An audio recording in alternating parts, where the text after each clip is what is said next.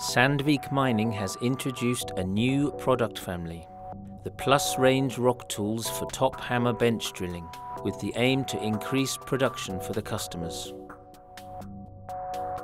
For two months, the South African companies High Point and Diesel Power tested the new drill rods. When the new Plus rods was introduced to us for testing purposes, we, uh, we had two machines, same type of machine, and on the one machines we had the old type rods, and on the, on, the, on the other machine we had the new type rods.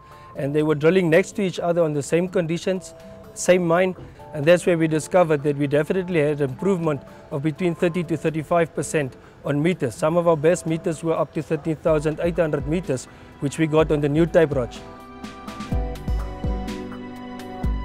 When I heard that uh, there was a new improved uh, product on the market, was quite interesting see, seeing the results at the end of the day, that there's definitely going to be a saving in our production.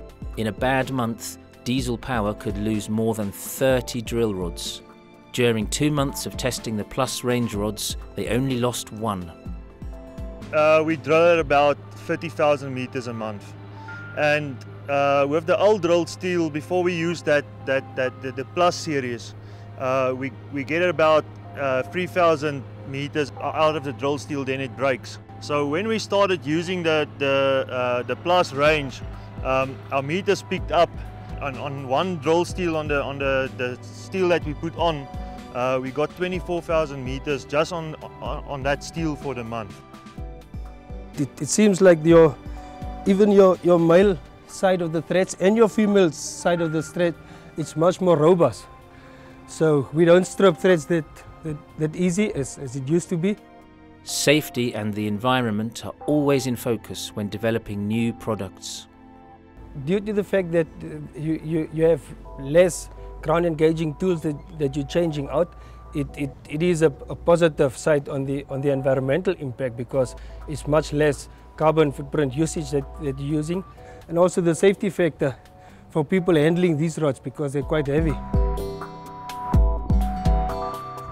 Yeah, for the change of rods, it, uh, it, it, takes a lot of time because I have to stop the, the machine and, and, and, and, bring the assistant to get together so they can put it in. So then with the new rods, our time will be safe.